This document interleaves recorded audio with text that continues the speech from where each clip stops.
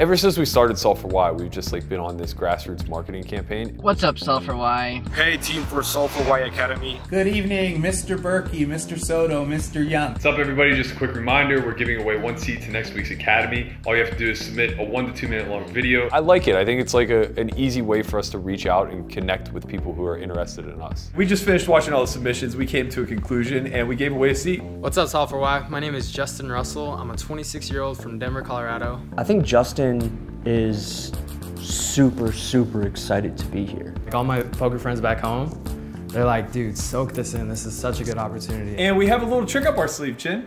What? We're giving away a second seat. It's just a, such a male dominated field that I just think that being a woman that succeeds in it would be a statement in and of itself. Marle's a little bit more difficult to read, uh, just because she's been around poker longer. She lives with poker players. I try to not think about what other people think about me, and I try to get better at shaking it off and just compete with my own self. I think that we see a need in the community for a lot of people to actually traverse through and out of the learning curve rather than just be kind of stuck in a rut for a lifetime.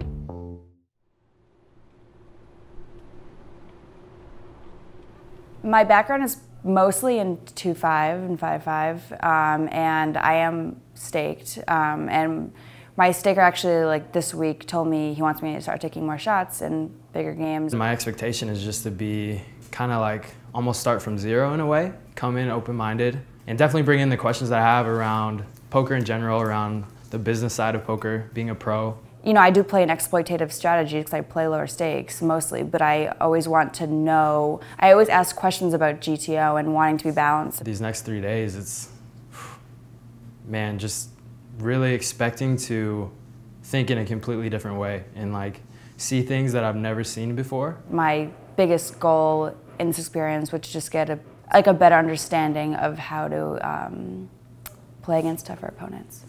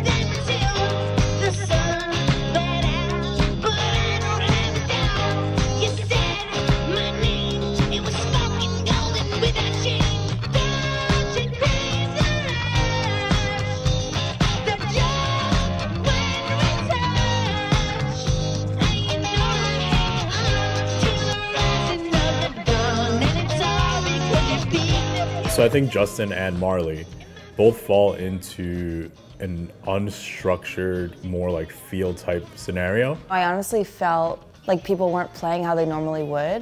I don't know, I think it was maybe like different because they knew that, you know, they were in a class and they wanted to like do crazy shit and I tried to play as close to like what I would normally do. If people come here and they don't play how they would normally play, they're just sacrificing a ton of value because the commentary that Christian and Berkey are putting over the top of the gameplay. Duncan open uh, to 40, Marle chooses to fold 6-5 diamonds in middle position. The suited connector portion of ranges is overplayed pre and like probably underplayed post.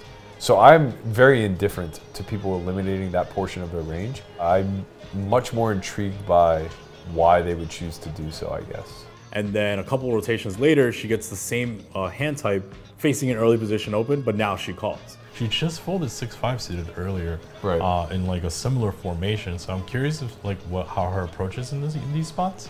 Um, so I think like with her decisions pre-flop, I think it's very clear that though she may be able to rationalize why she chose one over the other, it's going to be uh, a matter of she's constructing randomized versus linear. As it pertains to Justin, he plays pretty tight. He like limp called uh, 11x with like queen jack suited, and it's like, yeah, fine, maybe that's okay. But if you don't have a constructed plan on how you're going to win this hand without hitting, then it becomes an issue. I think for him, forward. this is a byproduct of his uh, his environment, right? So he's probably doing almost no bluffing in his game, which means he's going to be doing nearly no bluffing here. And it's just normal because he's playing low stakes. People aren't really fighting. So we're gonna need to like build him up a little bit as, as a fighter. He's like a nice kid, so like maybe he's not in his instincts, but we're gonna have to like get him there. This is the part that that I hate the most. I say that because like I've never been one to like play with constraints. So the idea of sitting down and listing out all the hands that I think are, are hands I should play was a frustrating endeavor. But it was necessary. It was uh, it was a big part that allowed me to uh, you know not lose five million again. Um, so starting with why do we choose the hands that we choose? These people come in with two hours of sleep sometimes because you know they learn this stuff on day one and they're like, oh, I got to go play. I want to implement this. I want to see what happens. So one of the guys in the academy, uh, Chris, he's definitely a more advanced player. He kind of came to me and was like, hey, I'm gonna play at the Wynn. I'm sure you'll be playing one three, but like in between hands, we can chat and kind of discuss things. And he finished his 2-5 session and he was like, hey man, like I think you can take this 2-5 table. I think it would be good for you. So I went and sat in his seat when he left and then had a four digit score. So it was good, it's cool. So basically we want to be able to keep our frequencies intact to a point where uh, we're not looking at an ace 7-4 board and we're afraid to c-bet because we no longer possess credibility. Um, this is why we're going to be you know, manipulating our suited connectors in a very specific manner. Uh, you'll see people who are like 25, 30 blinds and they can't help themselves. They always have to open their suited connectors. It's like, what are you doing? You should be waiting for like top tier value hands. Like you're just adding these hands in for no good reason. And that makes it more difficult for you to play eights now whenever you're presented the same scenario. Um, so I think Marle is like, she has that fight and she has that like will to win. But uh, I'm curious to see if like when she faces adversity, if she still has that fight or if she just like shrivels down. All right.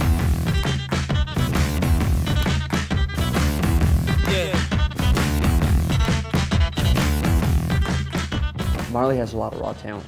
You can build the construction. You can learn all of these things. They're all quantifiable things that you can learn. You can't start with the construction and the calculation and then find raw talent. I think Marle has a really high ceiling.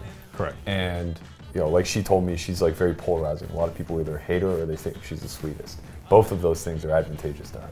People have taken a hard stand against how they feel against you, and that means that their emotions are going to have some sort of like preconception in every single hand that they play against you. The second someone labels you as really lucky, you can never lose again. Yeah, that's pretty true. Right? It's just like that just doesn't exist, man. And Justin seems like he's amped. He fucking wants to learn all the time too, but he's nervous as hell. He asked Elliot the question today. He said, "Is there a reason that I don't feel like myself once I won the seat to come to the Solve for Why Academy?" He's like, "I just I feel like I'm not taking in the information like I usually do. I'm not playing during the gameplay like I usually do." So the thing is, Justin's not used to. There's a lot of things that are going on. It's like he's not used to this kind of aggression. These chips are probably foreign, you know, Yeah. to him. Yep. Um, so it's a lot of like, I just want to make a hand and get some momentum Yeah. going, you know? I'd like to see him, you know, acknowledging that the game may be too big or too action packed or too fierce, and that he's trying to realize way too much. And that's a problem because like he's probably printing in the games that he plays, playing this way, mm-hmm. because nobody is doing anything correct. But it limits him. It, it decreases his ceiling so much because he can never get out of that pool.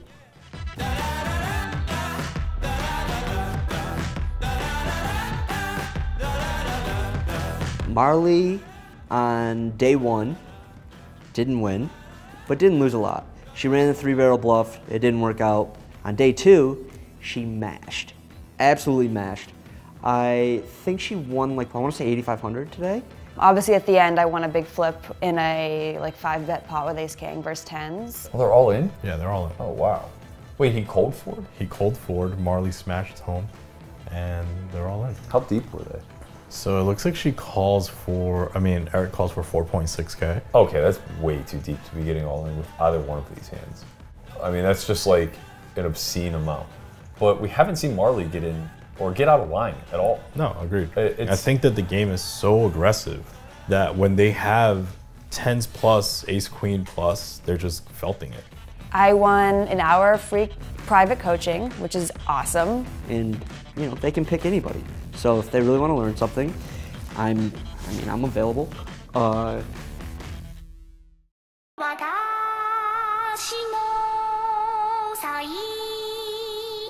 Day three today, last day.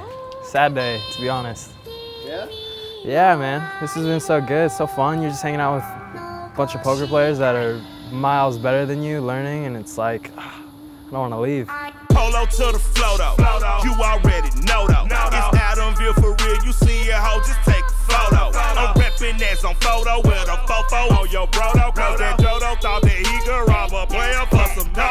Yesterday was a little intense for me. Just a lot of learning, obviously. And they built a video and released that that night. So I just went home, watched that, and kind of, you know, soaked in the comments that they gave. Oh, that's why it's tough. Justin folds. You have to go call call there. And gets shown the bluff. This guy is ruthless. They'll go around like each seat and obviously talk about each hand, but they'll also talk about just the player in general and you know what they need to work on, what they're good at. She's using equity as a guide. She's capitalizing on all the, the value spots as well as the bluffs. It's gonna be really, really difficult for people to kind of shake their subjective opinions and start just treating her as, as an absolute killer. So it's good to kind of compare my perspective of those players to their perspective of those players, as well as hear what comments they have on myself. Yeah, and he admits to being a lot on the tighter side of things, so it's going to be really, really difficult going through the mental calisthenics to get him from realization to capitalization. Like I'm without a doubt the worst player here. And I don't want to say that in a bad way because if I wasn't here, then I'd still be making the same mistakes and I wouldn't be learning the things that I'm learning. On range neutral boards, when you introduce a check raise, when you're faced with only a call and you catch a clean turn, that range neutrality has now shifted towards range advantage to the aggressor. Uh, and that's because people are not going to just defend here with a call with queen 10 because they're afraid of like a jack, a heart, or whatever. So when you check raise hands like aces with the ace of hearts and you face a call, um, you know, a three is range advantage now us. Uh, and when it falls their advantage, now we just understand like we need to shift back to realization. And understand that like when you face a three bet, it's mostly gonna be like a range of hands that have that equity has you crushed. Like it's just gonna be combo draws, two pairs, sets, etc. Yeah, I feel like I definitely got the most out of today, out of the three days, and it is so much information thrown at you at once. And that's what everyone's saying. They're like, dude, just wait till day three. Day three is dense. And I'm like, dude, day two was dense for me. It's like humbling because you do these these things and you just realize that you're terrible at poker. and it's just like, you know, you've got to look so far to go and like there's so much to learn and it never stops. I think I need to realize that I'm not gonna master it all today by any means. Just be here, be present, soak in as much as you can. I feel awesome, stoked for this like last round. What do it mean when you wake up and still see dreams? You not cut from the fucking cloth, you get cut from the fucking team. I run it up, don't run track with me. A double cup filled with a couple of things. I'm addicted to killing things. Google me and see casualties. I run it up. I wear my gold teeth in the crib. Just so when my mama see me, she know just how I live. Let's get it. How we moving? I got that guap and I'm coolin'. I got that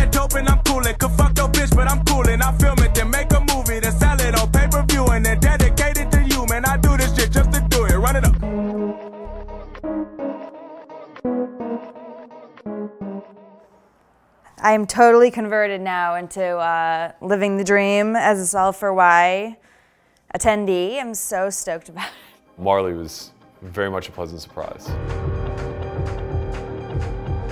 She's just ready to battle at all times. And, you know, she wasn't precise all the time and, and she kind of lacked calculation in some spots, but her thought process was there. She's got the raw talent. She just needs some calculation behind the things she's doing. And I don't think you can just do that overnight. I don't think we've really gotten too many people who are, are new to the game and haven't failed yet that are that hungry. Like she reminds me of Chin in that regard. I think if she puts in however many hours it's going to take for that one thing to just click, which it's going to be a light bulb moment one day for her, I think she's going to be a killer. My man Justin, he's really in that level one, make the best hand, try to navigate the showdown as quickly as possible stage.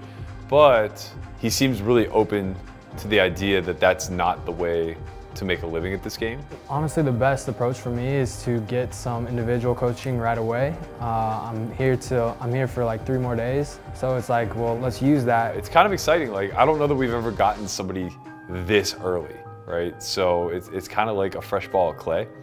Chin gave him a lot of shit, but I think it's like the big brother little brother complex that we kind of passed on to him. I know that they exchanged numbers. He's actually going to stop by here again tomorrow. Uh, I'm kind of looking forward to see if there's going to be a progression there. I literally have come so far in the last three days. I've learned so much. It's insane. And I have two more hours of free coaching, so I'm gonna learn even more. It's awesome. Dude, it's insane. I feel like, like I feel like all this is a dream. Honestly, my confidence is super low right now.